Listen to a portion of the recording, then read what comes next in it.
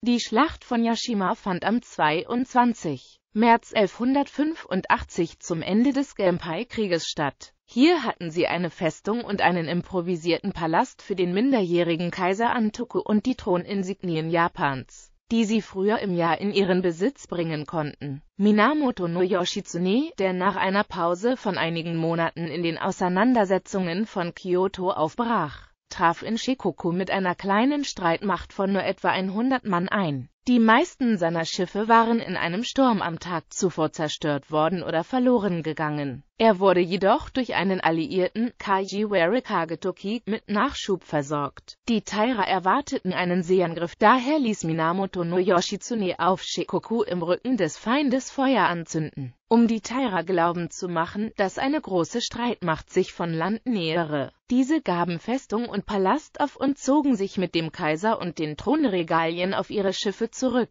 Danach kam es zu dem bekanntesten Ereignis in der Geschichte des japanischen Bogenschießens bei dem Nasuno-Yochi einen von den Taira am Mast eines Schiffes befestigten Fächer mit dem ersten Schuss traf. Die Minamoto hatten zwar die Schlacht gewonnen, aber die Mehrheit der Taira konnte per Schiff nach Denoura entkommen, wo sie etwa einen Monat später in der Schlacht von Denoura endgültig besiegt wurden